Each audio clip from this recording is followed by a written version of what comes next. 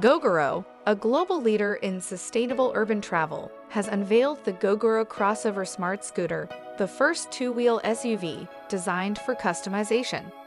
It's launching in Taiwan later this quarter with two models, Crossover and Crossover S, built for diverse road conditions and increased ground clearance.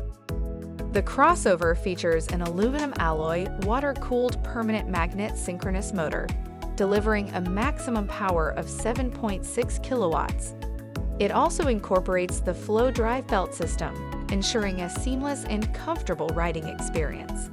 Furthermore, the Gogoro crossover is equipped with front and rear disc brakes, enhancing stability and reducing braking distance. Horace Luke, founder and CEO of Gogoro, stated, The Gogoro crossover embodies everything our brand has come to stand for. Highlighted by new functional design features, improved performance, and the latest in innovation, the crossover is focused on being personally customizable by each rider.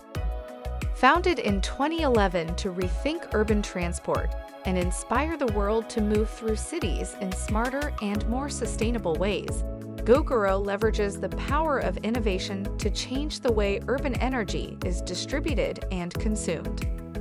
Shares of Gogoro trade on the Nasdaq under the ticker symbol GGR. For more information, visit greenstocknews.com.